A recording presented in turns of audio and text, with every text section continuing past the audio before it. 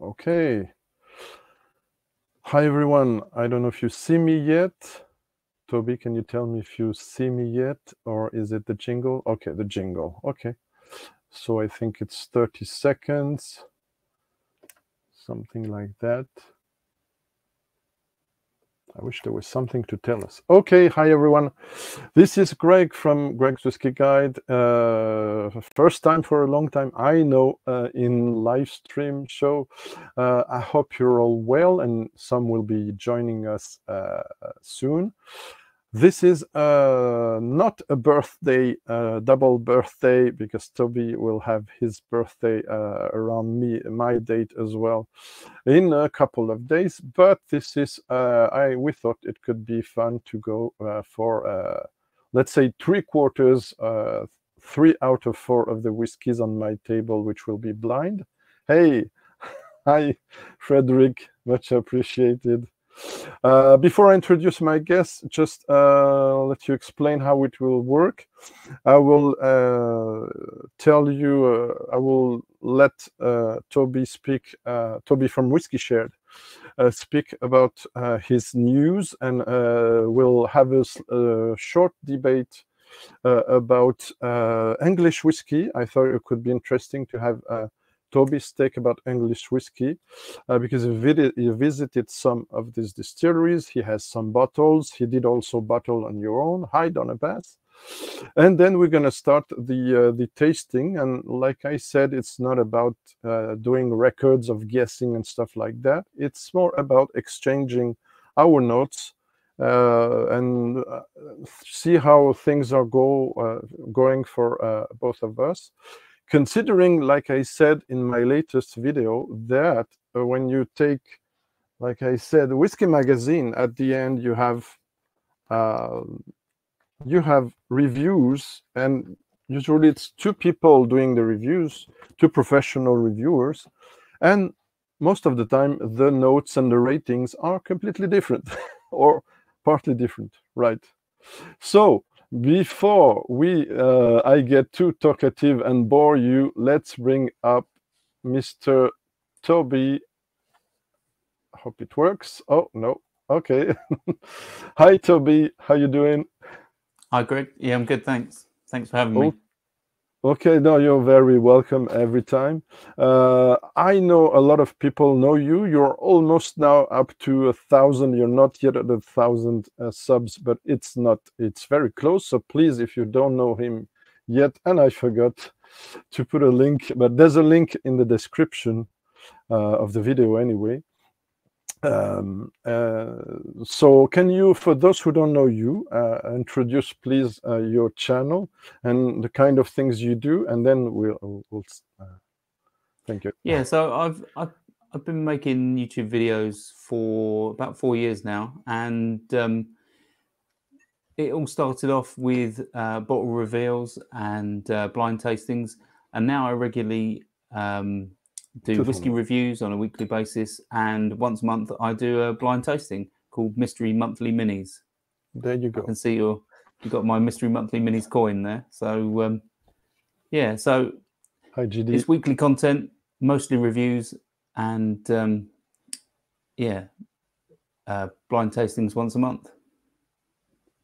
Perfect. And we have GD from uh, often I see him on Scotch Down Under channel who has a bunch of special limited releases from uh, he's in Poland now, but he's uh, I think he's American.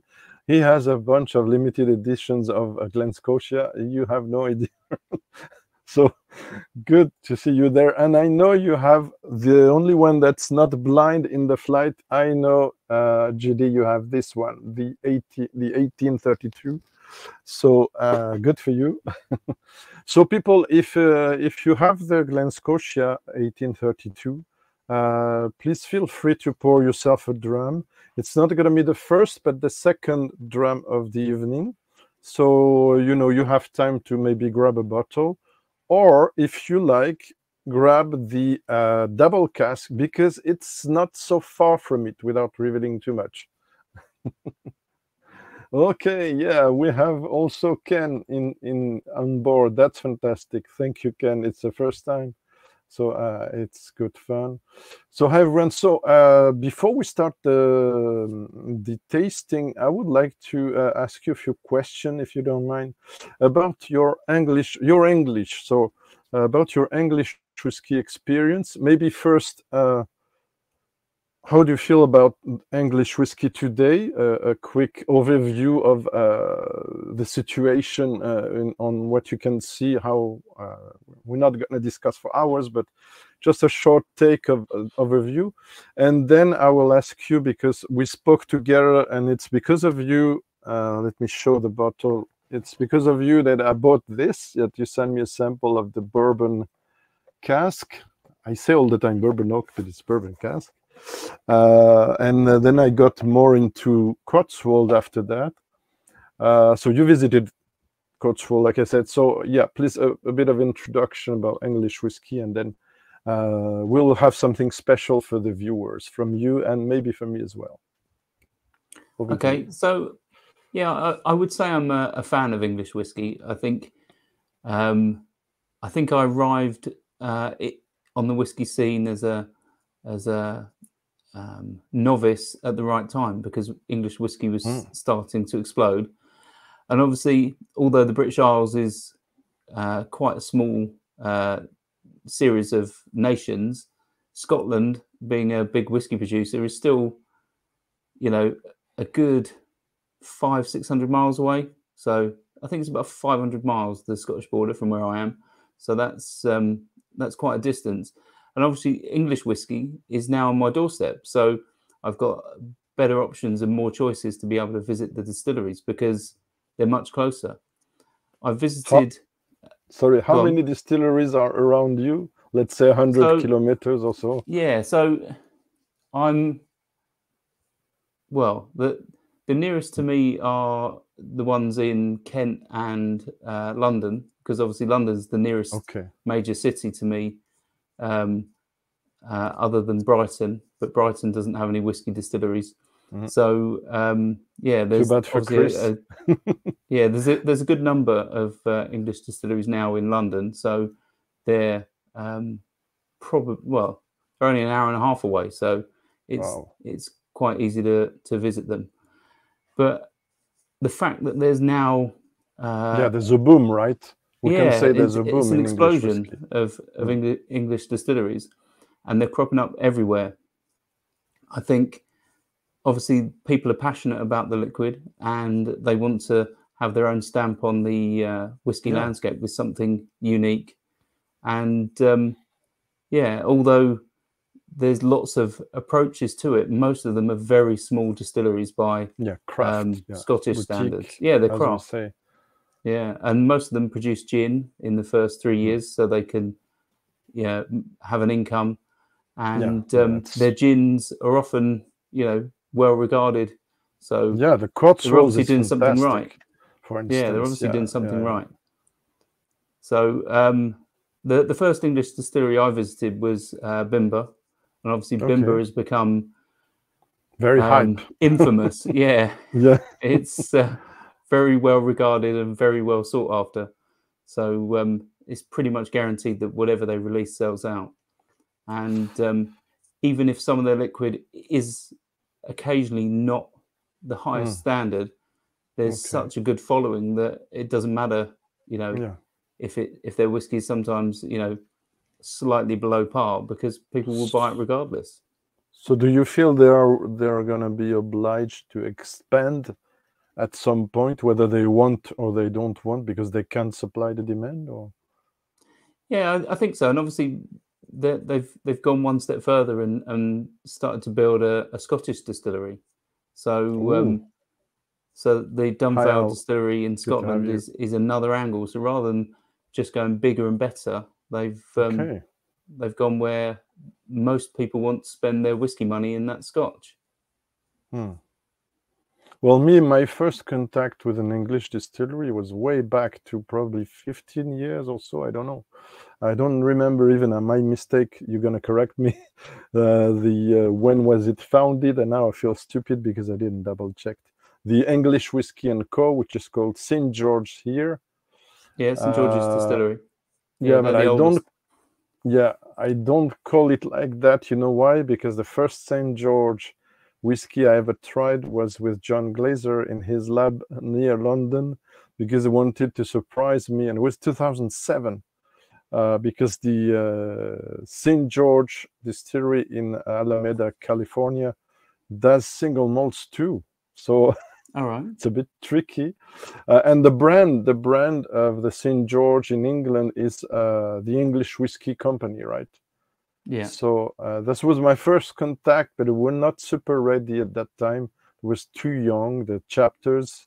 So I didn't bought any. And uh, before I say, okay, now it's better, I have to buy one. It's very hard to find here now. So I hope someday symbolically to get me a bottle of the standard one at least with beautiful new packaging uh, they have now.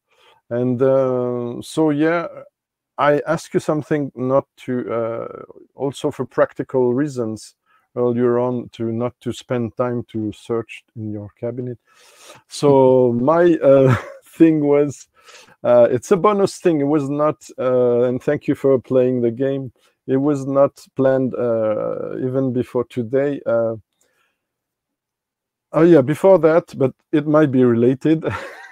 you did visit also Cotswolds. It's a distillery which took time for me to uh, attract my interest, and now I am fully interested. So, can you speak just a few uh, a few words about your visit there? How it is to visit? Uh, Yeah. also, so I, I uh, visited for my birthday last year, and um, there's a video, I- guys, about that. You have to check it out. yeah, Sorry. yeah, I, I put together a, a short video of uh, my time there, but it's quite interesting because it's, I'd say it's a small distillery. It's bigger than Bimber.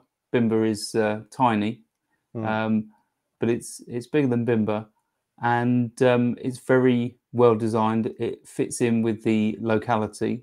Um, Yeah. There's lots of historic buildings in the Cotswolds, so they've tried to make it fit in with the uh, sort of uh, sort of yellow stone or orange stone sort of buildings, um, and it, it does look really pretty and and, and uh, very uh, quaint. But everybody there is friendly. It's really nice. Um, you get to see the whole process, and they even have their own bottling plant on site, and you Yep, get to see I that. They saw- have their own maturation warehouse, and you get to go inside, get to taste the new make.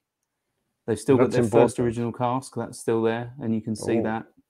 Um, I think they've only ever drawn one or two bottles out of it, and they Yeah, for auction, sold- I think something. yeah like they that. Yeah. auctioned the the contents for charity. for or- charity. yeah, yeah, that's that's nice.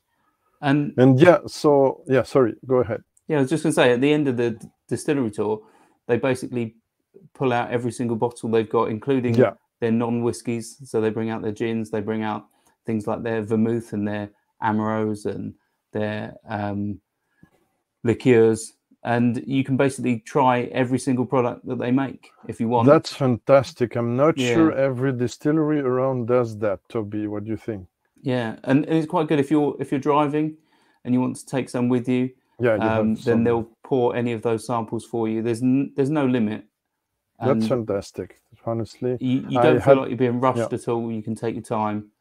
Um, that's that's and then very they've got nice. a, a really nice uh, shop um, to to then spend your money and, and buy some bottles. and that's where I got a hand fill as well, Yeah, which yeah. was a so PX cask. so I really recommend you people to check out uh, Whisky Shared's video about Cotswolds visit.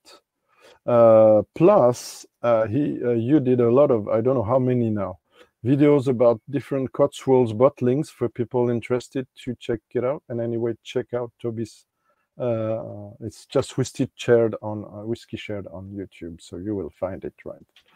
Uh, okay, so I ask you prior to to this to pick uh, if you like three bottles that might be uh, your favorite English whiskies. So maybe people who's watching, knowing your English and knowing we're going to speak not necessarily about English whiskies on the table, but uh, what would be your three favorite of the moment or three that people could be uh, finding interesting to try from your collection, Toby? Yeah. So first one is the Uh, first just- ever general release from Bimber. Just a second, I'm gonna highlight you. Ajouter, uh, it doesn't work. Okay, so we're gonna do the contrary. Okay, it's on cam. Yeah. So, So, that- this that- is a Re-Charred, their second release, Yeah. right? No, Okay. this was the, so this was um, their first major release, and I got it signed by the distiller Oh. himself, Darius. That's cool. Um, I collected that from the distillery, and Okay. um, yeah, it's it's uh, it's a very good example of their spirit. It it really does shine um, in the uh, recharred ca- uh, casks.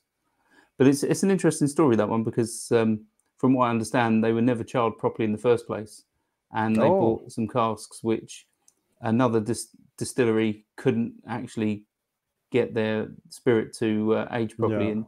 So they I emptied the that, story. had them charred, and and that's the result. And it's Okay. it's not too punchy. Um, I think it's um, a really it's one I tasty liked. It's one I liked, but I had a few reservation uh, on my side about its oaky side. But the main thing also is the first release was so good, but I guess completely different from this, that I had expectations for something similar, and it wasn't similar because they had Yeah, well, uh, obviously the the first was exceptional. yeah the first wasn't just um, um, effectively ex bourbon casks, was it? So um, No, no, no. It was uh, Yeah, very so- old sherry casks. Yeah, so, so the and, uh, influence is, is obviously going to mask some of the the uh, new Yeah, that- potential. That's always the question. That's why I would like to retry the new make.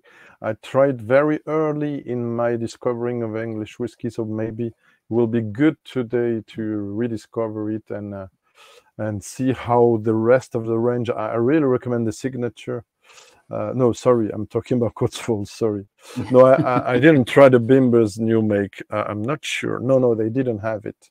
They were the first The, the release. Bimber new and- make is fantastic. I will be curious about that.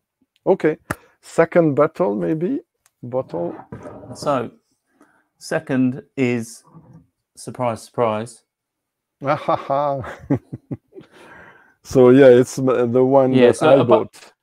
Ap- apart from the uh, signature, which is a really good example of what Cotswolds can be, this is that on steroids. It's you know it's cast strength. It's almost sixty percent, and I, I think it's it really is really is a tasty whiskey. I- I would just uh, contradict you, my friend, a little bit because it is not the same recipe. It's hundred percent. No, it isn't because obviously there's STR. Um, in the other because at Whiskey Live Paris, uh, if I'm not mistaken, yeah, uh, I, I thought you were going to say the founder's choice were the signature on steroid because it's 100% STR and cast strength. No, you don't think that? It's interesting. Yeah, obviously the the um, the STR maturation that they've used in the um, signature is quite small. It's mostly ex bourbon, so you get that um, spirit character from their new make come through really well on so- both of them. And you know that better than me. So what you mean to people and me understand is that this bourbon cask showcases more the distillery character. It does, yes. Is that okay? Very interesting. Yeah, And uh, what surprised me in that, because bourbon can have a can be a bit off-putting if it's too much first feel and stuff with the ginger, the very spicy and oaky side. What was absolutely fantastic for me. I, when I say that, I think all the time of uh, uh, Gert from Whiskey Lovers Society. I'm hearing him too much, so now I'm copying. Absolutely fantastic. Sorry, it's a wink to him. Uh, it's the fact that you get other notes than if you take, uh, for instance, a Royal Brackla or the Glencadam uh, first fill. And ev- I even managed to pick uh, tiny red fruits in something that normally should not have in bourbon cask, right? Uh, I don't remember if you picked that as well. As we know, Yeah. that's very personal. And also the custard note that I love so much in that whiskey you're showing. Yeah. Well, there's lots of red fruits in their new make, the white yeah, pheasant. okay. that makes sense then. Okay, so uh, yeah, so I second you on what you said. It's because I haven't tried for a long time. So, uh, okay, fantastic. Thank you very much. Third one, maybe now. And that's Oh, an English whiskey from St George's Distillery. The the one we were talking about. Is it the Yeah, one so thi- which is is- special? Yeah, so this Sorry. is all um, ex bourbon, some first fill, some virgin, and it's a vatting. Okay. Um, Okay. And it, it's 46%. It was a, a, a special version for the Somerton Whiskey Club. Ah, and okay. it's, it's one that I loathe to drink because I know there'll be no more. And it's Mm, really good, the fact that it's ex bourbon, um, because it, again, you get that nice distillery character. You get the spiciness and the baking spices that you get from a, a bourbon cask. And it's, you want to say? um, uh, yeah, it's really, really tasty. you want to say a word? We're not there for advertising, but I heard uh, from you and others they do a good job.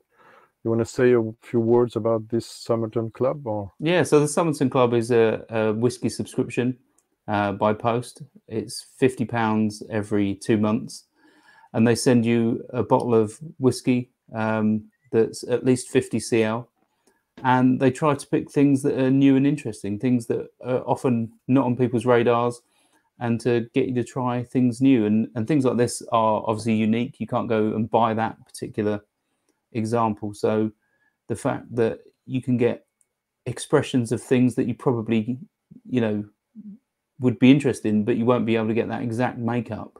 That's what makes them really good. They have uh, obviously the buying power to um, find interesting things and sometimes they you know they get things that are new. So you know the first time they're released in the uk they're they're often um, brought out within the Somerton Club. Good. I think there's one I tried that New Drum Drinker sent me, if I'm not mistaken. It was an Inchfad, so Loch Lomond, uh, peated, four years old, right? Was it in that flight, or did I mistake? Uh, no there was a there wasn't- an, in, no. an inch gal the single cask, the single cask. Oh, the uh, single in cast De was Butler. Glen Ord. Yeah, the, Okay, the one so that no, it's- with the Somerton Club was a Glen Ord. Okay, so sorry about And that. again, yeah. uh, Glen Ord, I think, isn't on people's radars generally. It's something No. a little bit different. And um, obviously, it's tricky trying to find something interesting and, uh, you know, unique sometimes when you've only got £50 to play with. Okay. Okay, well, I had prepared some uh, French trio as well, but I'm not sure people are interested in that now because we're passing the 20 minutes, and I think people, unless people say uh, that, uh, I, I think we're going to move on to the tasting right away. Hi, David. Uh, okay, I'm going to change a bit. So we're having four drums. One is uh, the first one is blind. Second one is the Glen Scotia 1832. Third one is uh, uh, second blind, and we have a, a third, and we have a fourth drum which is also a blind. Okay, let, uh, we will try the first one if you're ready, and uh, I will be curious to hear your thoughts, and then I will reveal to people uh, what it is. And I also prepared some links. Uh, have the infos there. So I can copy and I will paste later on. All right. Okay. What do we have on the nose? and you have something to say about the color, maybe? I don't know. And yeah, the so this, viscosity. this isn't that dark. No. Um, I'm assuming it's natural color. Otherwise, it's pointless Uh, analyzing the that's a- color. That's a good question. Uh, let me check it out. That's normally out. why I do blinds in a blue glass because the color can sometimes influence what you think it's matured in. Yeah. Well, there's an ambiguity. Uh, I will, I will tell you on the packaging and on my infos. It says clearly it non, it's non-chill filtered, but it doesn't state about the color. Uh, I will assume it's natural, but I have no evidence about that, to be honest. Okay.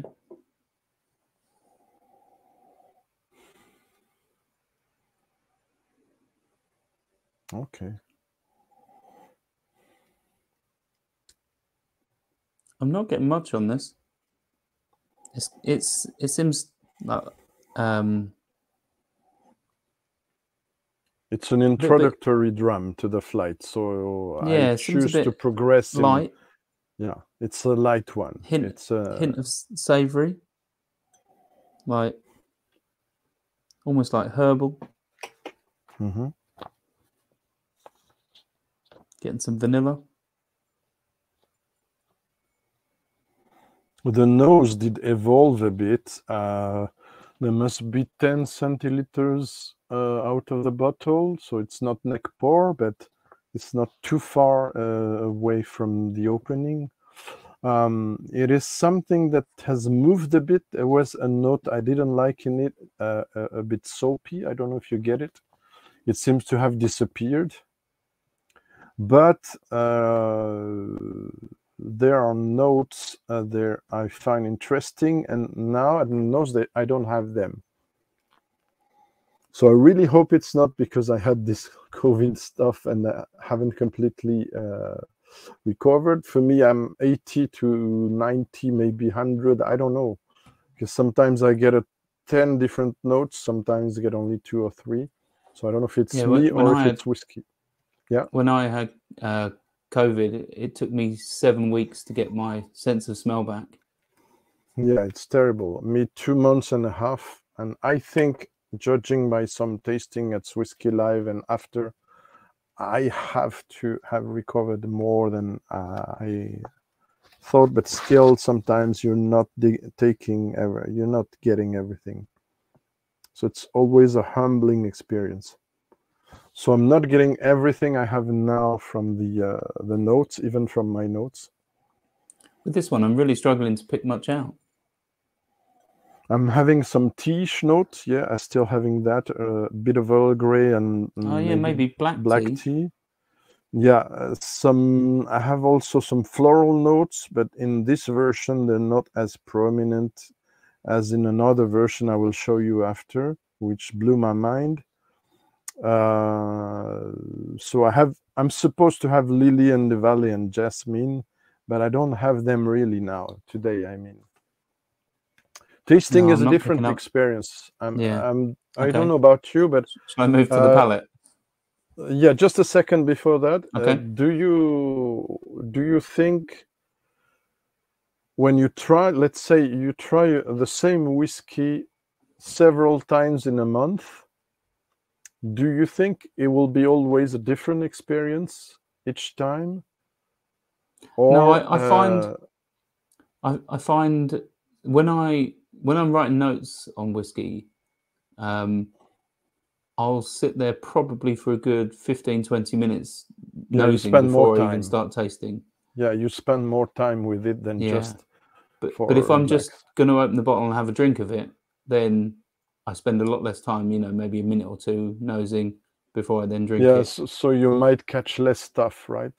Yeah, so I, I always Okay. try to make sure that my palate doesn't influence um, my nosing first when I'm Hmm. wri- writing notes, because Do- I think as soon have as you take a sip of it, Yeah. that then yeah. influences what you can nose on it. Of course, of course. Do you have a calibration whiskey before that or no? Some yeah, so that.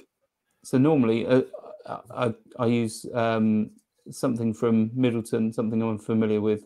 So Mm-hmm. either uh, Jameson Original or the um, Powers Gold Label, just because you to know see if you're cheap uh, in good mood for that. I know and- exactly what they smell and taste like, Okay. and the consistency with any bottle of that is going to be the same. I, I, I So it's do good, that good starting place. several times as well. Okay. Okay, let's go on the palate. Cheers, my friend. I don't want to wait, make you wait too long. I will do so.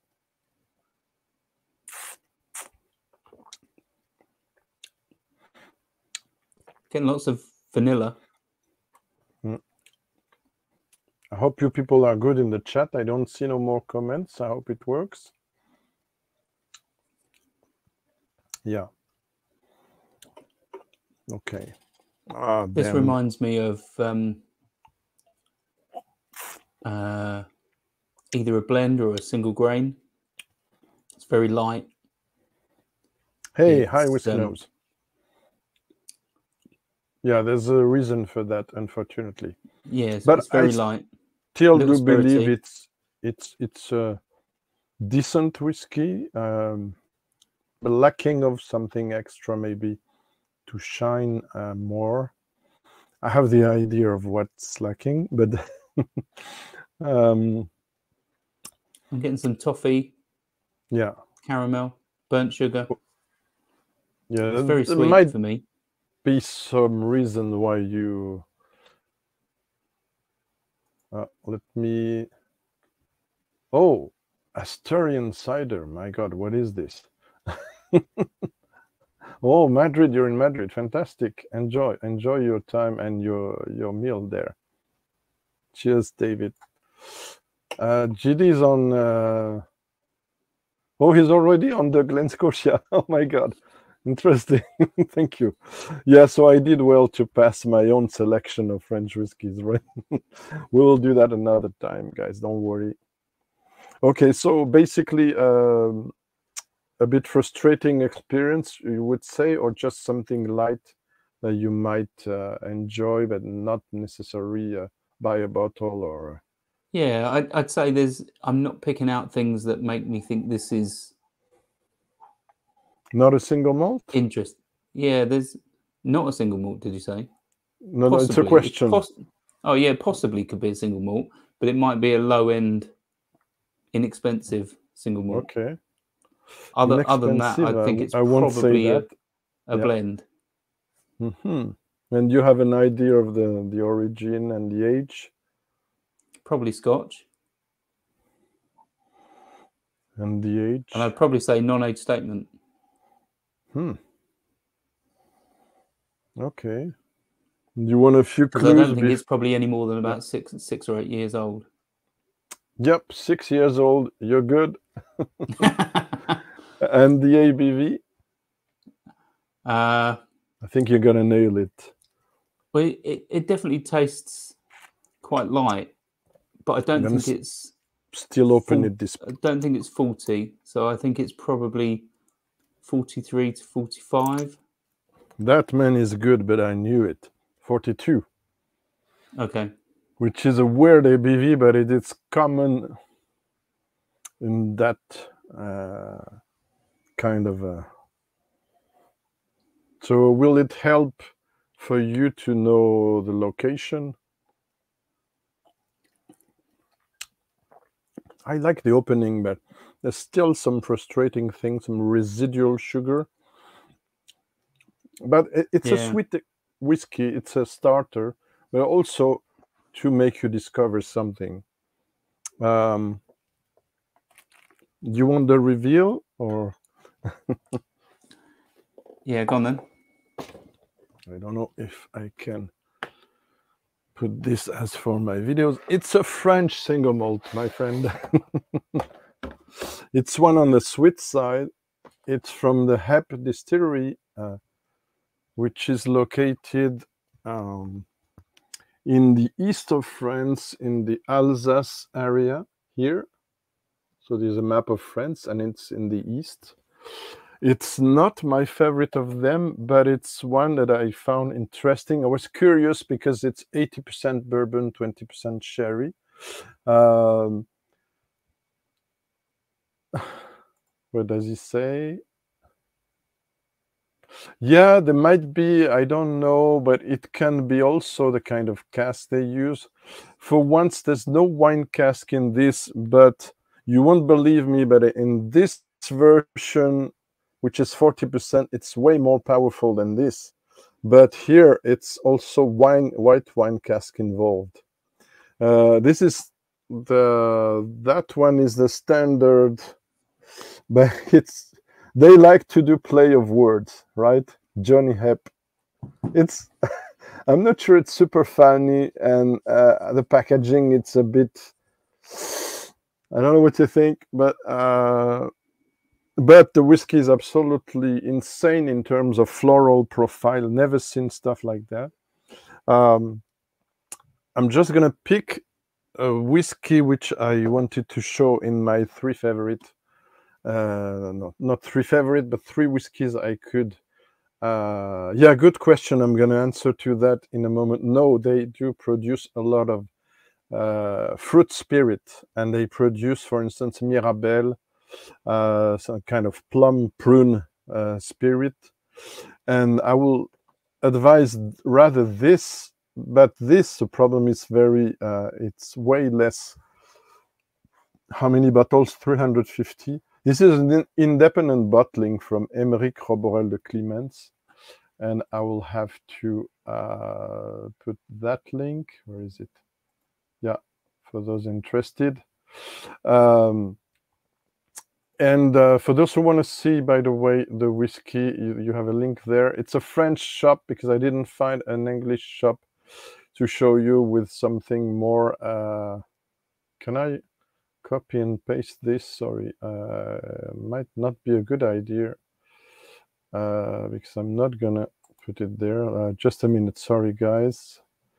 Bad, uh, bad thing I have because you cannot see it if it's in the. Uh, sorry about that. Yeah, that was not a good idea to put it into a banner.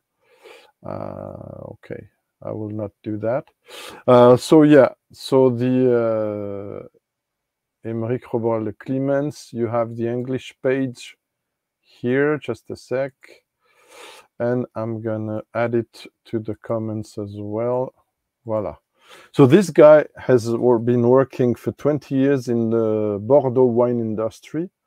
And what he did is weirdly, he picked this uh, from the other side of France uh, distillate to work on it and make it. He, he says is refining whiskies. He's not an indie bottler. He refines whiskies.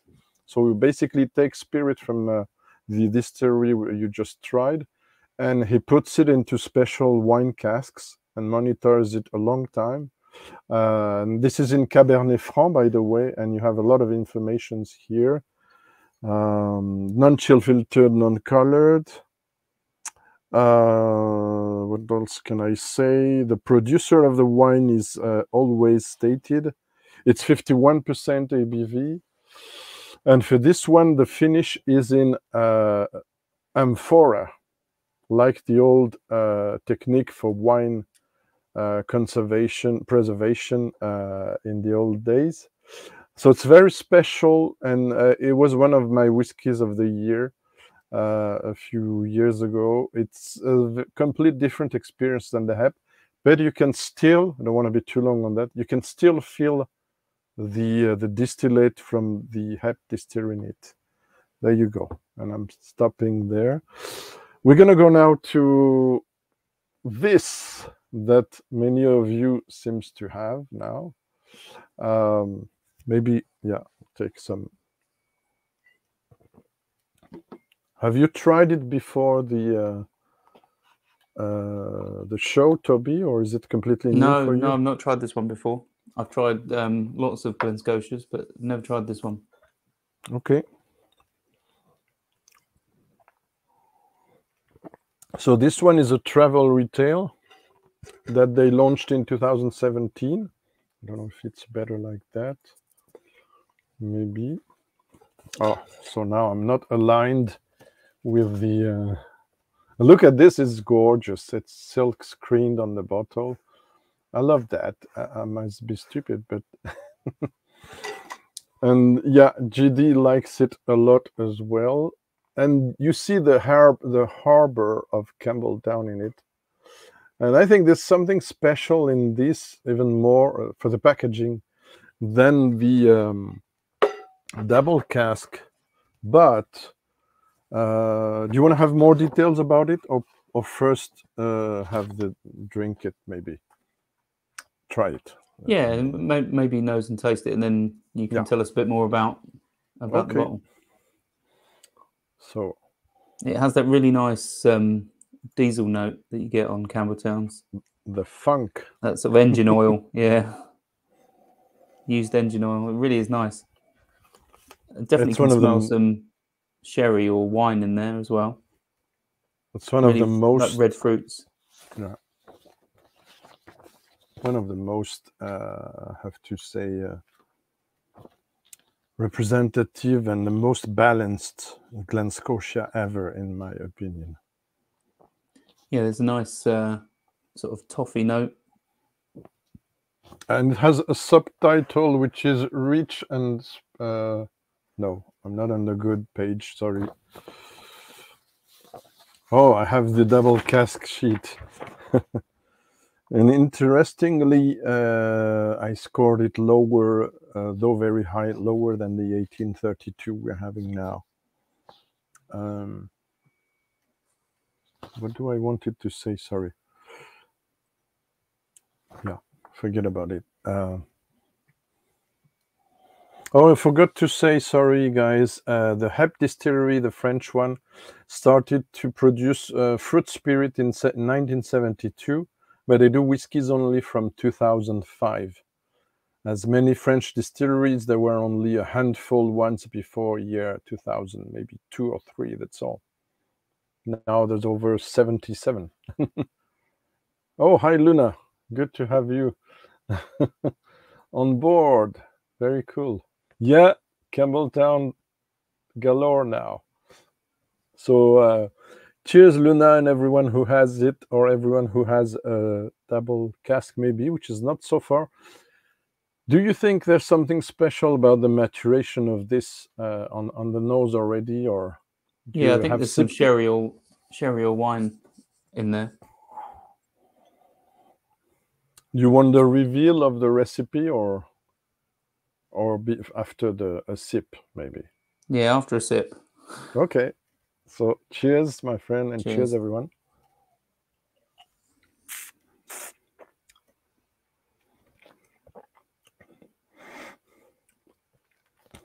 Oh, I like this. Wow. that is incredibly fruity. Yeah, and it is 40. I forgot to say, it's one liter, so global travel retail. Uh, mostly in airport, you will find that. Uh, I a friend of mine brought it back to London from London, and it's 46% ABV. It's the same. Mm. And it says, yeah, sorry, it says rich and gently smoky. It's a sub, uh, the nickname they put on the uh, on the back label. Oh, Loch Lomond 12. Interesting. Yeah, that is tasty. Yeah. Very nice.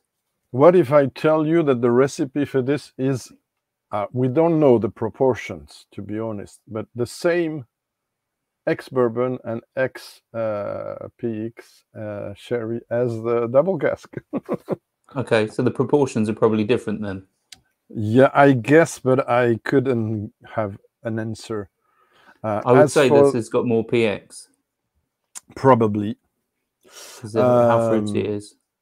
As for the age, some say it's from 6 to 12 or more. I have the info from Michael Henry, but I wonder if the batches don't vary about the age of seven years old, at least, as a basis. Uh, While it's 5 6, if I remember the double cask. I want to say. So is this still current? Uh, I think we should ask GD about that because it's is in airports all the time. I think yes, but it has change of uh, it has change of uh, packaging. It's less beautiful than this one, of what I saw. But I couldn't pick a second bottle. But I really, really recommend this one. Yeah, so I haven't tried a 16 uh, so I can tell which is a travel retail. I think there's a new one now in France arriving, uh, but it's on the uh, your place already. It's a 10 years old, but unfortunately, it's a 40 percenter. Yeah, I've seen Uh, that they've, they've just released um, a double cask.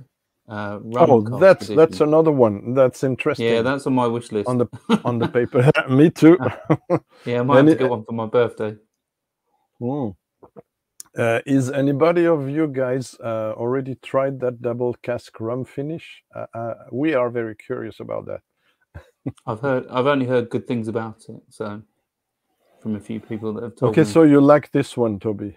yeah, very very tasty. Uh, you feel like adding a few drops? I will do. I think it develops well. But you're free not to add. Yeah, I, I am uh, in your page. I do think there's probably more PX in there. Uh, I can't be sure, but uh, next time I, I catch Michael Henry in the chat, I shall ask him. So uh, I do get a lot of red fruit notes, uh, also some uh, forest moss and, and green elements, vegetal in French. A few floral as well. Um, Yeah, No. definitely get the vegetal notes on the nose. I mistake pages all the time. Why? Oh, there you go. What do I get else? Um, mm, mm, slightly smoky, but uh, even a bit coastal, very discreet. Yeah, I get some citrus fruit, but very tiny. Even some uh, dried fruit, such as dates. Uh, I wrote also some slightly ginger spice in the finish. Um, what else? And some verbena in the in the uh, nose. You won't believe it, but I rated this 92 and a half out of 100. Uh, I know I score differently from many people. There's a pleasure factor in it, so it kind of heightens the notes. While the double cask, the mine is from 2018. I rated it 89 out of 100, so very good score as well. This one is from 2017, uh, mind you. So maybe the profile has changed. yeah, I really like sweet whiskies, and this um, this is right up there with uh, whiskies I like. Yeah, to, to answer Luna exactly what we were saying, we do believe together with Toby now that uh, there's probably more uh, PX in this than in the double cask. And it's probably a bit dirtier, I would add, and a bit slightly smokier as well. Um, it's also the bottle do evolve uh, when you open it. Uh, the neck pour was absolutely amazing. Uh, it tends to get more green as much as I'm going a bit greener or a bit funkier. Uh, but uh, I like both, and I will be happy to have both. Oh, what does GD says? Okay, interesting. Thank you, uh, GD. It's uh, it's interesting. So I hope I answered Luna's question, but maybe Toby, you can have your say on the comparison if you remember it. Uh, I don't have the bottle close, so Yeah, it was it was the first um, was the first uh, Glen Scotia that I bought, and um, there's definitely um, that sort of dirty, funky note is a little bit stronger in this than the standard double cask for me, and um, there's definitely more salinity in this than I remember in the yeah, it's cask. it's more coastal. I agree. Mm. It's really Um, nice. That that salt and sweet, really, it's um, almost like raspberry jam. It's lovely. Yeah, agreed. So okay, valid validation for this. Yeah, it's um, it's a great whiskey. Yeah. And this one was kept by our friends Coin Certified Original, in which we both are. Uh, New Drum Drinkers Discord. Oh, ha! It's a, it's it's a tough it's a tough one, uh, Luna. Uh, I would say I don't know. Uh, I won't say that. I don't know you, Toby. Yeah, I, I'd say it's sweeter for me. Sweeter than the double cask? Yeah, for me it is. Okay. Well, But I would say maybe whiskey. maybe it depends on batches. I don't know. Yeah, Uh, definitely, hard definitely could. hard to answer because some say now some double cask are way less interesting than before. Uh, GD says their latest one has, are better, so it's quite difficult to. Uh, I suppose that in a way that's that has its upsides and its downsides because obviously we like the fact that uh, distilleries like Glen Scotia can bring out things that have batch variation, but it's not very good if you really like something and then mm. buy another bottle and it's not the same. Yeah. So it definitely has its plus sides. I would do. I would do a, an exception with Springbank, and something weird appeared. I don't know if you can see it. I don't want to grab it because each time I have to wash my hands, as I bought it only a, a Friday. Um, uh, my bottle of Nc'nean. Uh, I saw a Springbank 10 years old 2022 bottle at the same shop I wasn't going for that because I have a 10 years old uh, black label uh, closed and I have a 10 years old current orange and black almost finished and another one in advance. But with Springbank, you know what's going on. It's going to be hard to find, harder and harder until yeah. they're uh, up up their production because all this happened also because they were not at seven, as I understood they were not these last years at 750,000 liters per year. They were uh, closer to th 300 or less. So that's also why uh, they couldn't supply all the demand, even for the 10 years old. I understood that. So uh, maybe it will change. They're not expanding. I, I heard they, they will not expand. They will not change things uh, to increase production more than, than that. But uh, I did a, a, difficult decision because uh, uh it was for my birthday. Uh, uh, I said, okay, I'm gonna grab the Nc'nean because it's something that seems interesting and new, and it's also craft.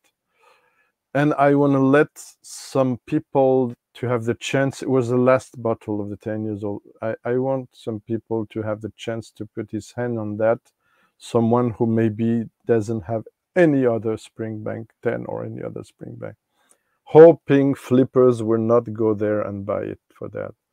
So i took that difficult decision to take something way younger. Uh, but uh, well i really hope someone will be happy with that. Yeah so maybe luna it's not for you. Uh, uh, Victoriana, I have to go back to it, but honestly, it didn't impress me much, and it's expensive. And the same, I'm sorry for the 15, too much batch variation, so I'm not on the page of many people. Uh, okay. Yeah, that's why I have an 18 and it's good. okay. How about moving on if you feel like to the next drum, uh, my friend, yeah. and it's a blind one again.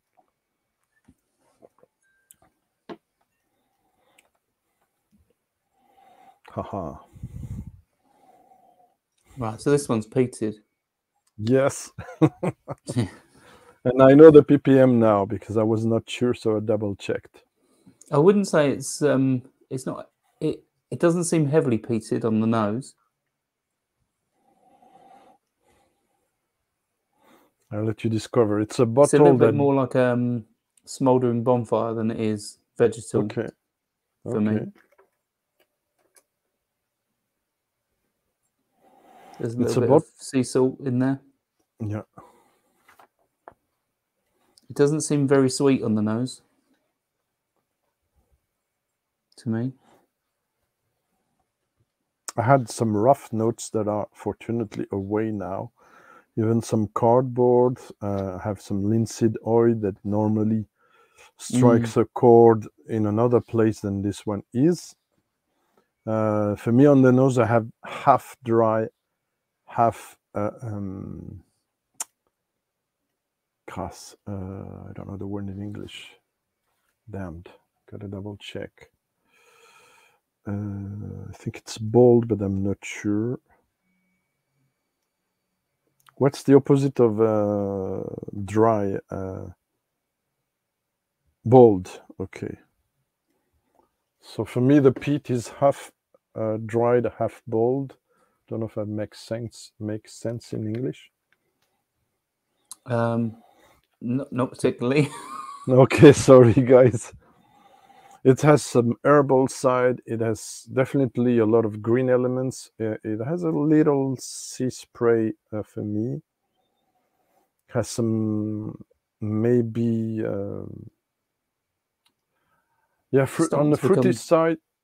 Yeah, sorry. yeah, it's starting to become more uh, vegetal for me now.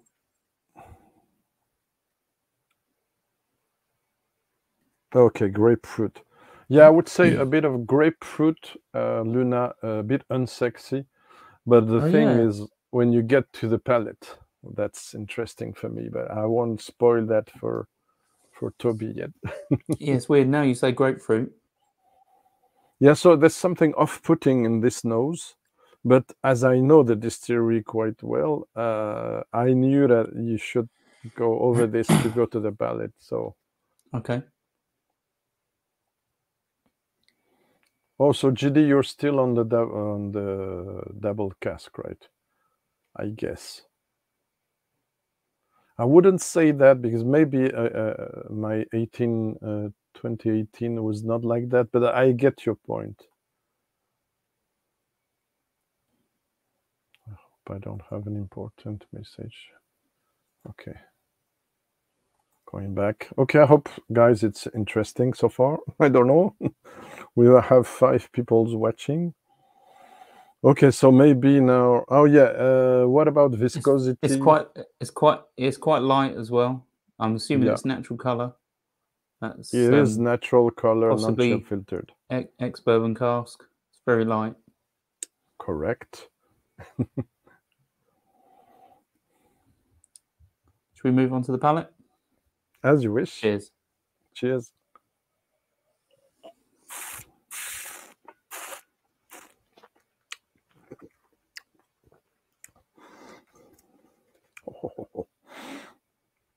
Mm.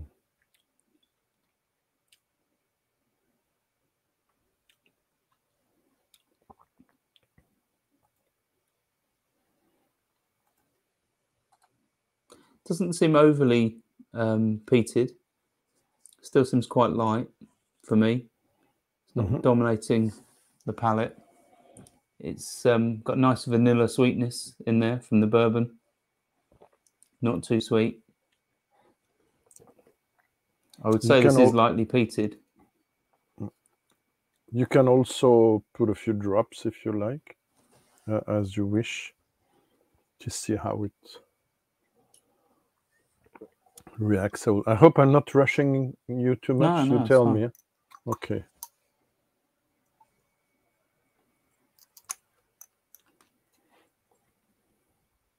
With a few drops of water, I get getting uh, a slightly meaty note from it hmm on the nose,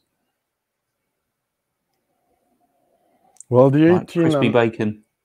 Okay. Uh, yeah, there's a little about that, I think. Uh, GD and Luna, I have the 18, but uh, it did evolve a lot for the first uh, 6, 8 CL. So I'm waiting a bit to get it maybe stabilized before I do the review. Just to let you know, but I will review it. Uh, and it's a pre-rebranding uh, bottling, so don't remember now the uh, the when it was bottled, but okay, where is the box? Right. Yeah, it's slightly vegetal on the palate. Mm-hmm. Um, a little bit of wood smoke. Yeah. Um, reminds me of the um, sort of smoke profile that you get on Mackmyras, the uh, sort of juniper wood smoke. It lingers like that. It's quite nice. Would you guess uh, ABV, age, and location, stuff Um, like that? I think there's probably 46, 48%. Forty-six. I wouldn't have thought- I wouldn't have thought it was an old whiskey, under 10 years old, maybe 12 at a push. And Okay. my guess would be it's Oh Scottish. my. Haha. It is 46% ABV and it is not Scottish. Okay. Can to let you other uh, options maybe before I, I reveal. Um, is it European? Yes. And it's Okay. not a berry bros. It's Yeah. just to hide what it is. Um, I'm guessing it isn't Swedish. No. Uh, I have some Mackmyras. I also have some High Coast. I think I sent you the Timber, right? A Yeah, you did. Yeah. Yeah uh, which is i like a lot i frankly i hesitated a lot between the uh, high coast uh, timber and the glen scotia 1832 but i thought it was cool to uh, maybe let you try uh, along with me haha so last guess maybe of the Um, location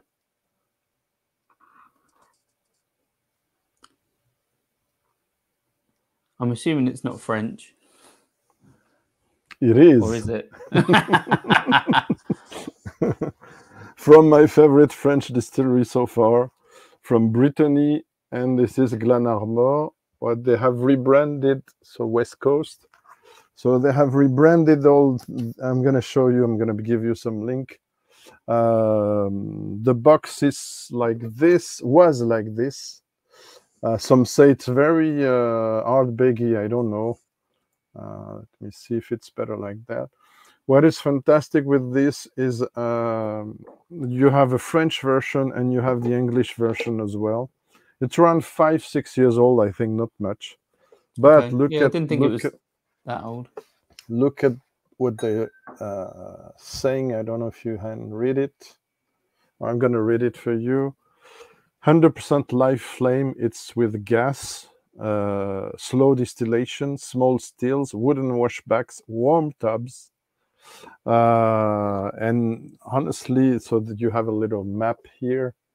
Uh, this is uh, uh, they have been rebought by a bigger company now. They have rebranded it. Let me, uh, yeah, it's Kornog. That's that's the current packaging, uh, and the, the old packaging, and I'm gonna show you the new one.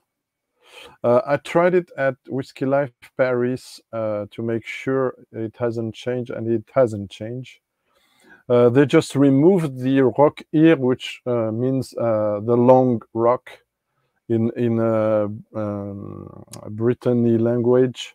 They have removed everything from the, the that could be really Brittany. Uh, you have the back label, and there also the nice um, lighthouse. Oops. And this is the peated version at 40 ppm. And this is the unpeated, which is called Glann ar Mor, uh, which means close to the, the sea. And uh, that one is a special version with Maris Otter barley. And they're gonna go more for this and remove everything like optic and this kind of uh, uh, barley. Um, these are around four, five, six years old, and I think the distillate is fantastic. The unpitted maybe showcases it even more. They have now changed the name. They uh, call it Celtic Whiskey Distillery. Uh, they were the first to bottle uh, whiskies with a sauterne finish back in hmm, around 2008 or 2005. I'm not sure now. Uh, they do whiskey since 1999. First whiskey was 2005. I have the first versions, uh, cask strength, and the, the, they do some high pit crazy stuff. But yeah, this is the youngest. Uh, I have I reviewed recently the uh, 11 years old Coteaux du Layon finish, which is a sweet wine, which starts to develop very well now. Uh, I don't know. So yeah, some mistake it with a Islay, but no. so I don't know your thoughts about this one. Yeah, it's, it's quite Final nice. thoughts. It's uh, not too peated, and it's um, a nice sort of gentle wafting smoke that lingers on the palate. Yeah, and there uh, goes Mr. Frederick. What does Luna says? Uh, where do they get? Uh, it's local. We are, allowed in France to have some peat, not everywhere, but it, uh, it's peat from Brittany. And I don't know if you saw the article. Oh yeah, it's the box from the unpeated version. Don't know if you saw the article about the shortage of peat in Islay. The WhiskyCast Mark uh, talked about. So they said everything not Diageo we go, is going to struggle with uh, find peat after 2024, if I understood well. so might run out of Kilchoman and uh, Bruichladdich, etc. Unless they uh, sourced at Port Ellen maltings, we don't know. Uh, but maltings are one thing, and peat. Uh, yes, but it's a boutique distillery again. It's a very tiny. They have a less than hundred thousand, uh, fifty maybe fifty thousand liters. It's it's a it's a very small, and you're not allowed to visit it, which is very frustrating. You can only see the shop and the distillery from outside because the stills are inside the building of uh, of the owners. So the house, it's a very weird thing.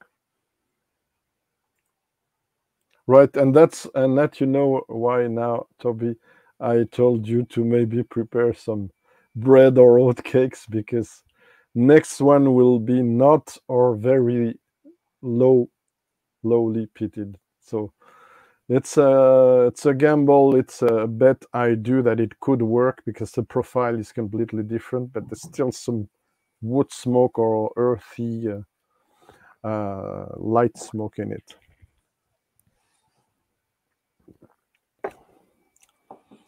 How we're doing so far? Good. Yeah, good.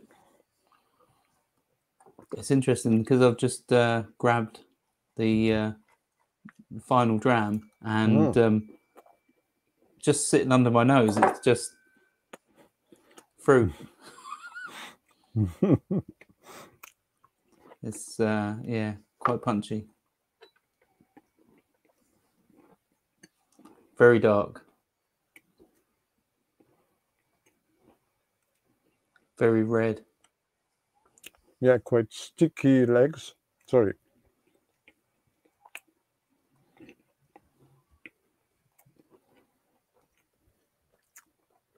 Apologies for the sound.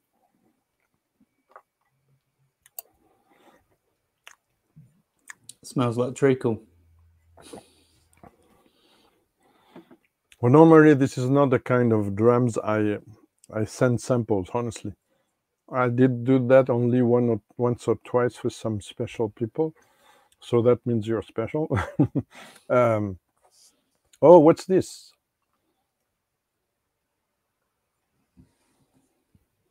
Well, I'm not sure I understand. Ah, okay, okay, okay. Well, they do others. Um, the one I missed the one who was a novelty at Whiskey Live Paris. I have a sample of it, but before I even took time to review it, the bottle was sold out in a few hours. Ugh. So it's way more uh, better than the one we had, but it's also older and it's uh, full house ABV and with a very special selection of cask. This one is a core range. You just try, just to let you know. Uh, sticky legs.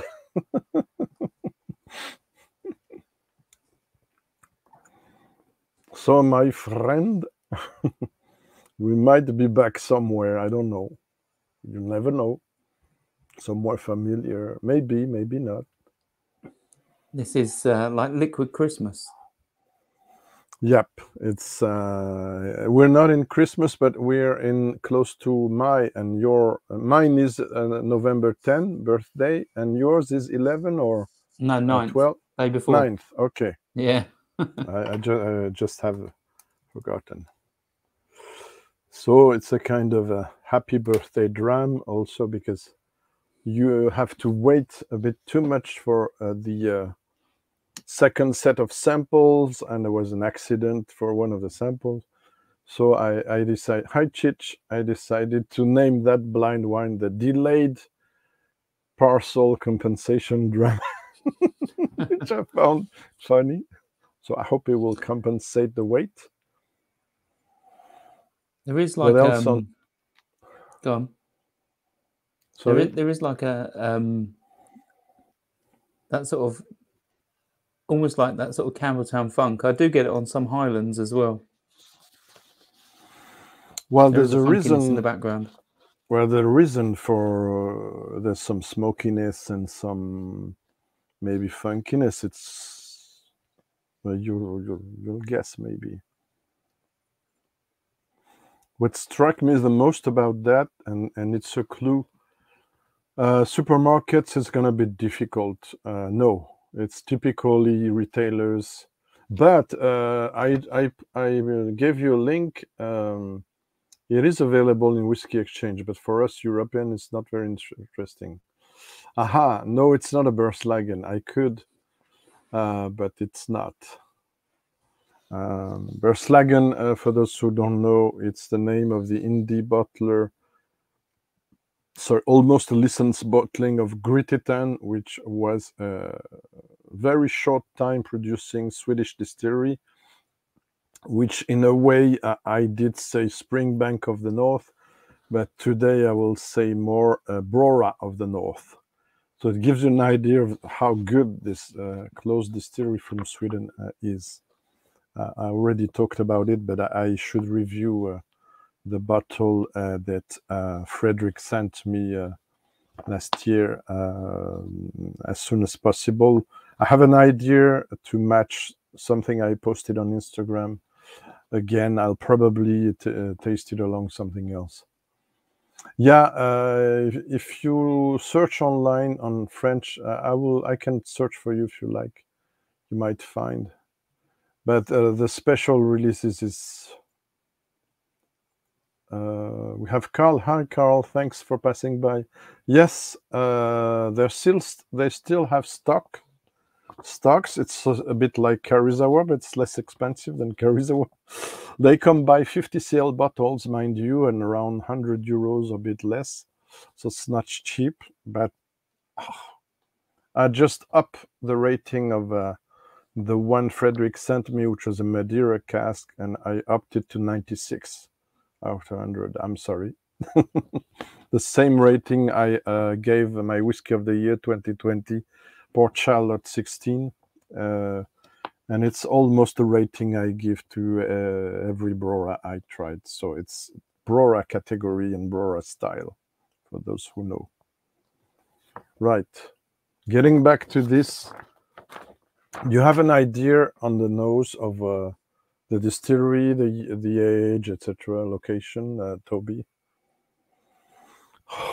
Um, I would say it's quite old, hmm 16 years plus. hmm Correct. I'd say it's probably about 50% ABV on the nose. A bit less, but uh, good guess. I'd say it's my guess would be it's probably some sort of scotch. I like the some sort. Yeah. some sort. Um, I know they have made um, they have made uh, a release. This distillery has made a release since uh, of the same age, but I have no idea if I would like it. And mostly, I'm hundred percent sure I won't be able to afford it.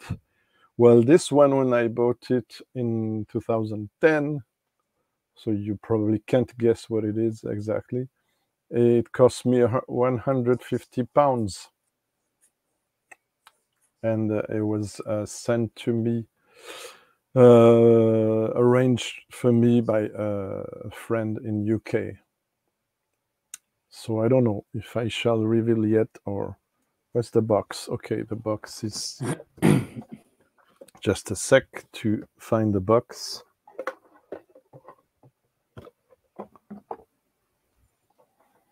Anybody is guessing, and maybe we should talk more about the profile on the palette. Uh, have you got to the palette? No. No, let's have a sip. Ah, okay, okay. Cheers. Cheers. Cheers or Slàinte Mhath or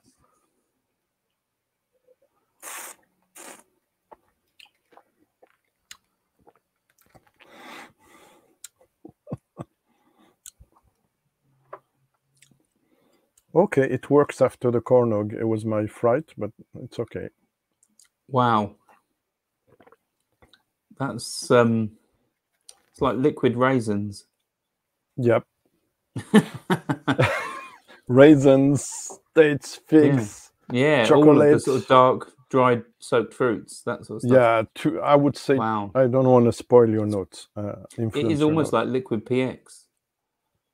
ah, it's not PX. I can No, but it is like but it's the fact that it's so rich Okay. and fruity. Yeah, yeah, I agree. it reminds it's me thick. of uh, yeah. It's thick, yeah, in the mouth. It coats the the. ABV definitely uh, isn't as Hey, punchy on the Jason. palate. Oh, it's funny you're coming now. It's very funny you're coming now because we're tasting this. Uh, Toby's tasting this blind. And I won't spoil already the reveal, but uh, Jason, please don't tell it in the chat, but you will do your guess uh, on, in due course. You could guess what it is.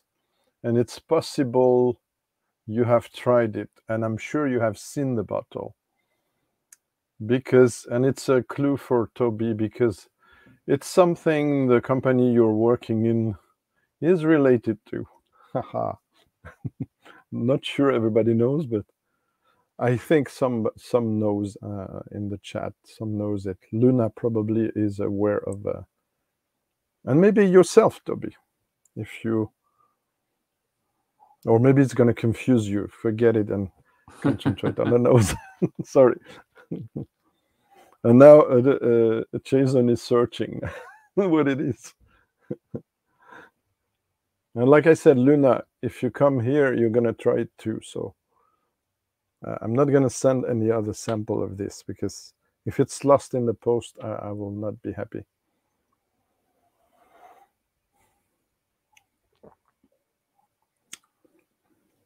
Hmm. Oh, I was going to say, Luna, is it good? But not sure, apparently. Um, okay, so me, I found some old style um, um, cacao, we said here, powdered chocolate Yeah. for breakfast, uh, Van Houten, uh, the one that's quite dark.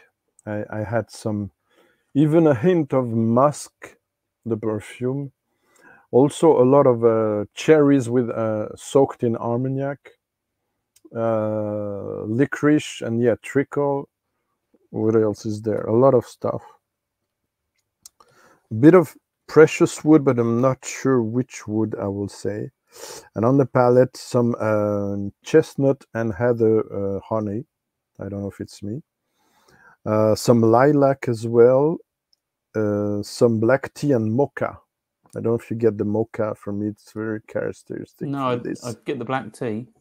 yeah, and some and It's wood very smoke. bitter on the finish. A slightly bitterness. I you can open it just two drops. I tried this and oh January that will be cool.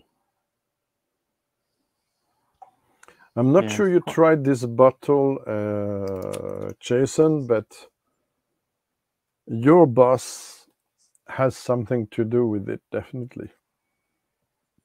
I don't know if Toby knows for which company Jason works now and Luna.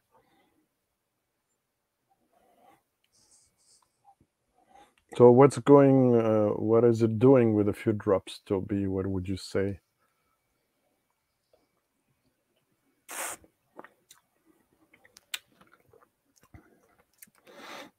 For me, it removes a bit of the bitterness to um, to add a bit of layers of chocolate and Definitely get more chocolate now.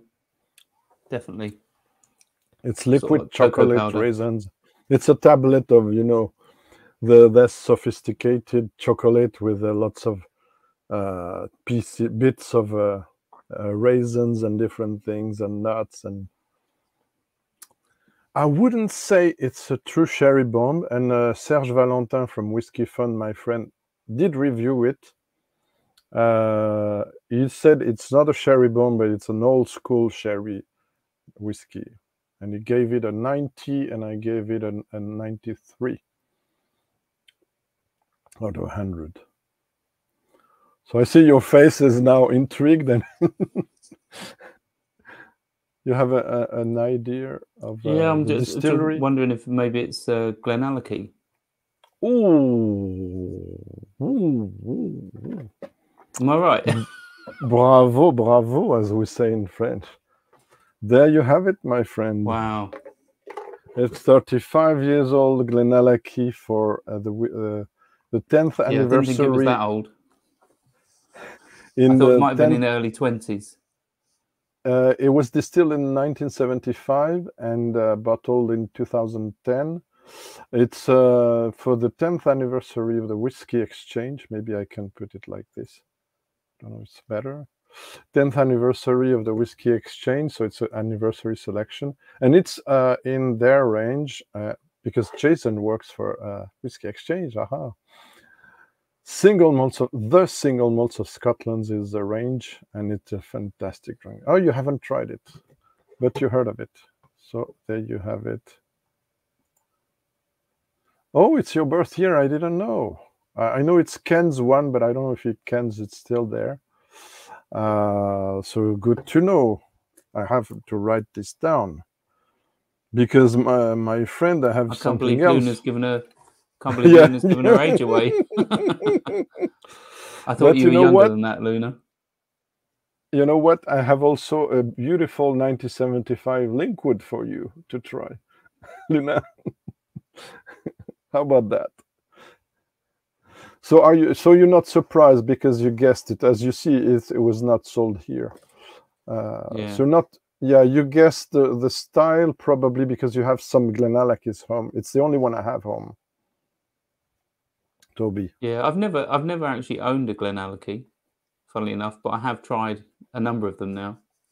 Well, I probably tried less than you, but to be honest, nothing really stands out for me compared to this uh, from them. Uh, I I liked kind of like the eight years old they pulled out this year, the ten years old cask strength and the fifteen. Yeah, okay, but they're working too much the oak with different kinds of oak and virgin and and it's for me it loses the beauty of this one. Uh, but of course, this will be way more, yeah, way more Yeah. expensive today. This than Yeah. 150. I think it's over 500. Uh... Oh, sorry, I forgot, guys. I'm gonna give you the page of uh, Whiskybase, so maybe you can have a look. Yeah, I agree. Old Linkwood uh, Whiskybase page. First fill sherry cask, forgot to say, 685 bottles only. Uh, and it by that time, finally, uh, it was called uh, the company, the indie company was called The Specialty Drinks and not Elixir Distillers. Yep. but this was before Billy Walker treatment. Yeah, Whiskybase. Sometimes there are a few mistakes on Whiskybase. Bearing in mind if it's people who are filling Whiskybase's pages, they are corrected on a unregular basis. Uh, I mean regular, but too uh, they took too much time. And I see mistakes. I see mistakes about bottling dates. I see mistakes about uh, the uh, labels, uh, and uh, yeah, but average value is not necessarily uh, always the, the, the, the value will find it. 339 euros uh, i'm not sure. Better think uh, twice than that. But yeah it was my surprise drum for you uh, toby. Well, hi thanks for hanging sending it. is it? Really enjoyed it. you're very welcome. So there you have it the full set on the table so it's a kind of dreamy drums that uh, it's it's cool to share with the with people, and and uh, I'm very uh, pleased that you guessed it. It's fantastic. Well, so am I. I surprise myself sometimes. And what is weird for me is this distillery dates, I had to double check. This distillery dates from 1967. So it's after my birth year, 1966, 5, 65. So it's very weird. This feeling so old, and you think the distillery lasted for centuries, but no, it's a quite young distillery in a way. Like Loch Lomond, I think it's 65 or no. Uh, yeah, th- those are young distilleries compared to uh, the Glenlivets and Fiddicks and voila, voila. So well done, well done, my friend. so yeah, I can confirm you tried enough Glenallachie to guess it. Um, well, so we're around one hour uh, 25 minutes. Uh, I would like to say I will advise uh, people if you don't know yet this lady that's very charming and passionate about whiskey, uh, Leanne from uh, Scotch in the Bayou. She's going live tonight in uh, I think it's 9:30 your time, uh, Toby, and 10:30 my time she's gonna do a blind flight with uh, Roy and Gregor, who are gonna put her into the test. So she needs some encouragement. she's freaking out a bit. uh, so go check out. But before that, uh, and we'll go to the conclusion. Uh, what are your final thoughts, Toby, about about the uh, this blind testing and maybe blind testing in particular in in general and did it brought you some ideas of reflections tonight for Yeah. instance Yeah, I think it, because um, Scotch style whiskey is so prevalent, it's quite easy to get stuck into a trap that you think that whiskey you're tasting is Scotch. So both of those French whiskies could have been a Scotch whiskey, and I think no people way, are, are, are very good at copying that style, and because then I suppose there might- Scotch doesn't can- have that identity, does it anymore, of being Uh, unique to certain regions? i have to interrupt you sorry. Uh, if this is true for the two ones you tried uh, this will be not the case for the other Hepp distillery uh, bottle this one is much more distinctive with a white wine finish uh, if not almost matured in it. This will also i wanted to show this earlier on the Michard is quite different as well than a scottish. This is fantastic. One cask a year or 10 cask a year only. Very uh, small let me highlight this small distillery in center of france they're doing fantastic job with this it's not cheap it's not easy to find but it's one of the most fruity whiskey ever and almost strange for a whiskey uh, and don't want to strike a personal chord but i do think that the one I did blend has nothing to do with Scotch, but it's only me. Uh, No, but obviously but- it's quite it's quite easy to get stuck in that sort of mindset that when Oh, yeah, something yeah, tastes yeah. similar to Scotch, yeah, yeah, I get your point. Scotch. It's Yeah, very, I it's get very your easy point. to do that Oh because yeah, yeah, for sure. you know the, the majority of people's experiences with um, And the sales, yeah the the number of bottles that Scotch sells, it's quite easy to pigeonhole that flavor profile to Scotch, you Uh, know, from the different absolutely. regions. But absolutely. it does show that people are very good at creating, you know, whiskey that tastes as good Oh, as yeah, yeah, Scotch yeah. whiskey. Would you say now we talked about that earlier? Then it's the same for English whiskey, or could you, No. for instance, blind? Do you think you would confound mix uh, English whiskies we talked earlier on with Scottish or not? Yeah. Sometimes, Oh, that's definitely very honest. sometimes, but but not but not the majority of English whiskies that Okay. um, I've had taste like very young Scotch whiskies. They're Mm. very similar. So if you get the likes of uh, Nc'nean or Lindores, they're very similar to young English Mm. whiskies because they haven't had much time in the cask. And a three-year-old yeah. whiskey Of course, it's a young industry. still tastes a bit like a an aged new make. It's Yeah. very young. I would So say, until those distilleries, yeah, until the their whiskey gets older, they won't Except- have Mm. a unique profile. Maybe except uh, St. George, the English whiskey and co. I think they're up to 12 years old now or 13. Or, Yeah, but They're still exactly- young. Well, no, uh, fourteen and fifteen years old, I think. Oh. yeah. You know, you know, like I said, I did really uh, recently communicate about one of the highlights of a. Uh, I have the bottle here, not the bottle because it's too expensive. Uh, the picture here. Um, let me find it. And it's not in the first pages, just to let me down.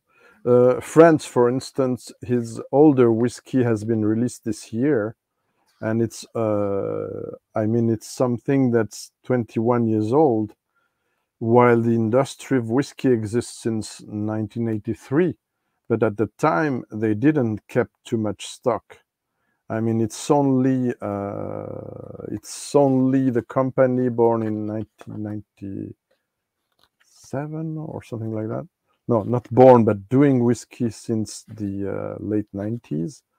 Uh, why do I cannot find it? It's weird. Uh, Armoric did release its first 15 this year.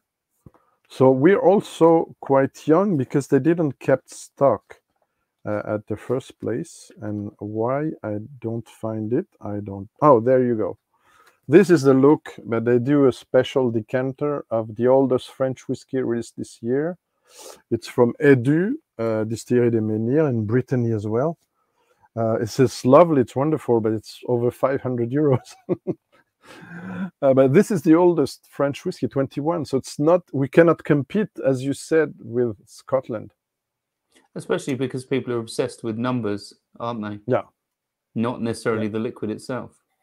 Yeah, and that's uh, something. Uh, I mean, I did. I was one of the first, I think, to do a big, big video, even if the quality is crap. I, I warn you guys about the no age statement questions, uh, in which I think I tried to uh, overview every aspect of it.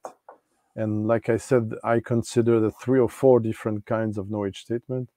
Uh, to put a long story short, when it's not a modern uh, big company uh, do some cash on something weak with a special weird finish and and it's you can see it you can feel it when you see the packaging when it's not that and it's a young distillery uh, from wherever it is and it is craft england france uh, ireland etc you feel it they don't need because they can't bring you a five years old for instance age statement so you feel it and you don't care at that time, right? And then there's another thing that people forget because there are many people who dismiss, uh, overlook blended whiskies and blended malts. There's the science or the, say, the uh, wizardry of the intuition of the blender. Uh, and now that I've touched a bit more about that, I can tell you can do fantastic things with no age statement when you mix casks from different ages, different warehouses, different uh, places in the, in the in the distillery, and different kind of wood as well. You can do beautiful things, and you will be uh, slowed down if you have to put an age statement. In the case of the one I worked with, if I had to put an age statement, it will be three years old. But most of the casks are over five or seven years old, and they go up to nine so it's it, it's hard to, to put a three years old uh, age statement on, on whiskies that are uh, a majority older. That was the problem for John from uh, John Glaser, who who had to uh, find a way to skip that. Anyway, uh, so, uh, we have some comments. Yeah, I like I said, it, it depends on the approach of the industry of the product you have in your hands for some some products you feel it's not a honest uh, approach for others you know they can't they just can't bring you the age statement so you gotta trust them, and yeah, absolutely. And then you have, of course, try before you buy. Uh, that's the uh, the proof of the pudding, right, Toby? yeah, and I, I think even some people who are probably experienced with whiskey are still swayed by numbers. Yeah. Because they think older is better. Um, but blind tasting is a great example of that. Yeah. You know, the fact that you can try something and you're That's being also completely like it. yeah, you've been completely subjective with the No liquid prejudices. that you're yeah, exactly. With the liquid that you've got in front of you. You know, that 35 year old Glenallachie that you, you sent to me, you know, if for whatever reason that was a much younger whiskey and I still liked it, that's all that matters. I like the Hmm. whiskey. Of Doesn't course. matter if it's got an age statement or whatever. Yeah, and I have to tell you, some old age statement didn't impress me at all. Uh, like I said before we recorded, I had the opportunity, and I will answer Luna your question. Sorry, I had the opportunity when at the beginnings of Whiskey Live Paris, where you didn't have to pay for high-end whiskies more than your ticket. I had the opportunity to try 50 years old Macallans, uh, 40 years old Strathislas, uh, or very old Japanese whiskies, etc uh, you get biased and overwhelmed because you have the maker or the blender in front of you who's giving you a sip of this and then you feel privileged.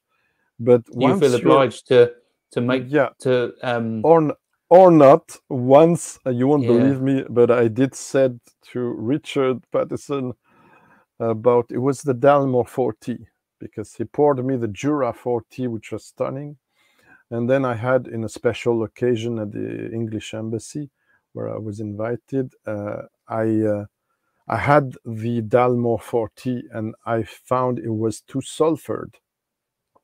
And he was mad about my comment. Said, i'm sorry it's good but it's too sulfured for me. I don't like it. Ah, it was mad at me but i didn't want to lie. So uh, yeah the, the the judge of peace as we say in french le juge de paix the, the proof in the pudding you say in uk is yeah. the tasting with no influence nobody's around and and it can be very hard because it relies on batch also so it's very tricky thing i have to say i have bad experiences about that where the bottle is great the sample is bad or the contrary so that's why you have to make reservation when you try a sample uh, Exactly. It's, it's a but the bottle is the same. snapshot, isn't it? Yeah You've and the only got a limited amount of liquid to and time to make a judgment. Yeah, and the bottle can evolve as well. In my place, for instance, I'm not sure uh, for those who come now. This is because of Toby. I got who sent me a sample. I got this beautiful bottle, uh, bourbon cask of Cotswolds, and I'm discovering more than uh, since. Uh, but this is typically the kind of bottle I hesitated to buy because in my flat the temperature can go very high, and this profile doesn't like that, so it comes across drier, etc but yet again still this can be great. And i not a- i know in good uh, circumstances and we tried it at the live i know this is a good product. So that's why i i bought it. So now your question. Yes at a certain extent uh, for all european whiskies because i have the text somewhere i have the regulations uh, on the side also the french version text which is not completely different. Uh, you put an age of the individual cask. You're not allowed, even in France, if it's the question, to put uh, an age statement which is older than the younger content. So if you have three, four, five years old content, you're obliged to put three years old. Uh, that is on the label, but like uh, John did with Compass Box, if you're asked, that's why when he tell. do when he do com- master classes, uh, uh, it's funny because he says I'm not allowed to say in the label, etc. But if you ask me, do you ask me? yes, then he can say. I've, I've always Honestly- found that. Yeah. I say, I've always found that brand ambassadors, when you go to any whiskey show, any whiskey that's non-age statement, they will give you a good indication of the liquid that goes in. Yeah, in it, because it because they know you're in- invested in in that brand if they're open and honest with you. Yeah, yeah, and it's uh, it's legal to tell. It's not legal to have it written. Yeah. I have to say I took a risk with my bottle because I had the the the white card to do everything on label text wise, not for the rest. I for now the the the uh, the police, uh, if I may say, uh, didn't say nothing. I mean the regulation uh, stuff here in France, they might do, but I I said uh, on the label it says whiskey, so in France it has to be also three years old at least. And then I wrote on the back label, cask from five different vintages. so what that means that that means that there's a three years old in there and you can add five or doesn't mean each is follow each age is following vintage is following the other. It's not the case. But this was the way for me to say it's from three to nine years old and guess what you can? And if you ask i give you the disclosure and the proportions and everything. So okay we got other questions Oh, it's not okay. Yeah, I agree. I think we both agree. Toby, Yeah, we both agree with that. it's a, I, I, I, and I am I'm glad that we talked with uh, Whiskey Live Paris. We talked with Dan, and uh, we yeah we we got along on the marmalade, orange marmalade note, uh, and some Christmas spices, Christmassy spices. So it's very something for me. This signature single malt. Uh, I, it's a bit remote now. Uh, it's just something really uh, seasonal, autumnal, and Christmassy. This is a real treat, and I'm very impressed. Now, uh, Luna says, "Yeah, I know, I know." Um, oh no, uh, in France it's the same. You know, the uh, there's not a single regulation for single malt whiskey. So there's two uh, re- regions there: uh, Alsace, where you had the uh, this to start with. For those who missed it, it's a French whiskey. Uh, was the first blind, and Brittany. There's different regulations, and because they had um several distilleries had a fight together, even in public, it was really awful to see. Uh, they didn't agree on many points. So uh, there's a lot of distilleries on those both areas that didn't apply comply to the uh, regulation and refused to be part of it. So now they cannot save whiskey from Brittany or whiskey for Alsace if they don't comply to those rules, forty percent, etc. So uh, because some distilleries like Glann ar Mor ask for 46% minimum, non-chill filter, non-colored, local barley, etc. And it was refused by the others because it's too difficult to have Yeah, it's too restrictive. yeah everything from uh, from scratch in your area. Yeah. Otherwise, we'll both agree it would be better. if Everything was local, everything was green, everything was uh, blah blah blah. But it's not always like that. Yeah, heard of that one. Haven't tried it yet. It's impossible to find here anyway.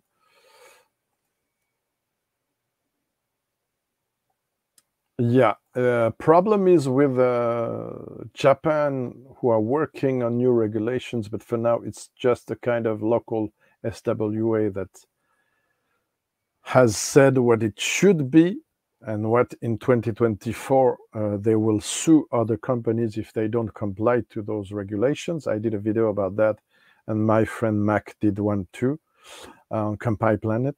Uh, so we explained basically that it was the oak was not, if I remember, uh, there's no mention of oak. There's mention of wood, but there's no mention of oak. Uh, but there has to be um, malted, distilled, uh, uh, um, malted uh, brassé. The wash and, and the fermentation and the uh, maturation in Japan, and there's the same here for those who comply for France. Well, long story. I, I don't want to be too uh, Uh, I don't know whose question is that for you or for me. Maybe you can start. Yeah, I think uh, Luna was asking uh, JD if he tried. Ah, okay. Oh, sorry, it's not for whiskey. us. Okay, and Donna Pass. Got a tag on the neck. Ooh, That's interesting. I didn't know that. oh, they're not allowed to do that normally. Yeah, I think they're not allowed to do that. Well, you know, it's a, it's a tough question, honestly.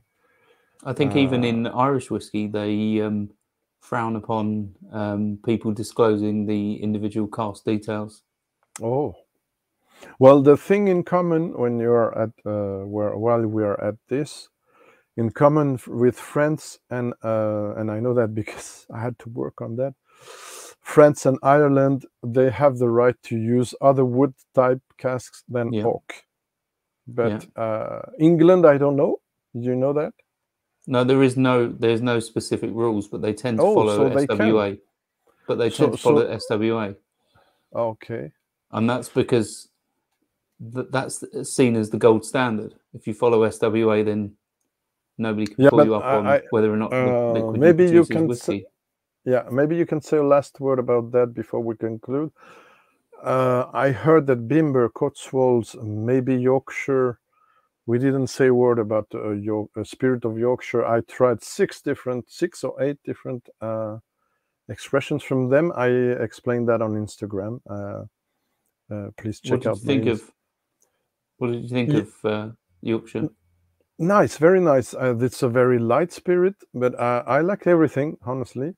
Uh, the one that stood the most, of course, were the behind the counter distillery exclusive cask strength sherry. Of course, no. yeah, see, I like the Moscatel. yeah, it was nice. The was STR nice. was nice too. No, what I wanted to say is uh, I heard uh, those distilleries are currently working on the English single malt regulations. Do you have a, an are. update about Yeah. that? Yeah, so as far as far as I'm aware, obviously they're trying to um, set an English standard. The problem is you've got certain distilleries currently producing that don't fit within the rules that they have Mm. suggested should be the standard for English whiskey. Okay. For example, uh, Spirit of Birmingham are producing in an eye steel, which is stainless steel, and Ooh. Bimber and the likes of the English whiskey, I can't remember what the group's called. Um, they've suggested it must be made in copper. Mm. So that immediately excludes Spirit of Yeah. Birmingham as effectively being able to call themselves English whiskey. Interesting. So, yeah, you, you're trying to set rules after, you know, everybody But- started producing. How about the brand Oxford Rye then? Yeah, obviously that's not malted barley, so yeah, yeah. So you know they, they, they only use malted rye. So so you they know, don't care about be- those rules. Okay. yeah, they're not going to be included. But that may or may not harm the Hmm. We'll see. of So- those brands So to the public. so so how do you see the future now? It's a bit of the same question we had in the beginning, but uh, future English whiskey uh, is it going to be more regulated or is it just going to grow and we'll see what?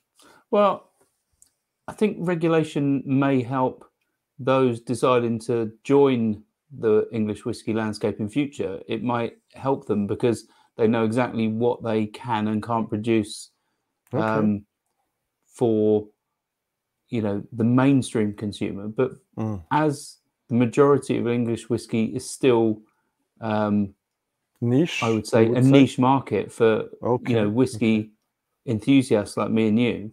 It was a question I, think- forgot to ask Toby.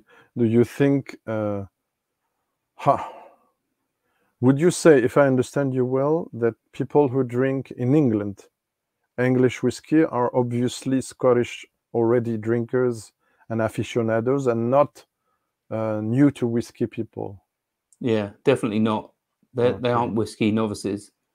Okay. People gravitate to the the big Scotch whiskey brands first, I think, and then when they get an appreciation for whiskey, or poss- possibly even people gravitate to bourbon and American whiskies first, Okay. but they would be in the minority, and then Uh, they start looking for newer brands.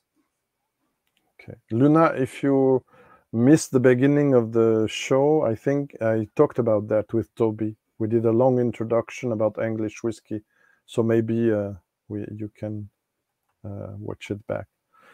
Okay, that, that's fantastic. Thank you, Toby. I think uh, it was uh, again very interesting, and I really wanted to have beyond the blind tasting uh, your take on English whiskey today. So uh, thank you for that. Uh, thanks to everyone who was there. uh, I enjoyed also interacting with you, and uh, we enjoyed interacting with you in the chat.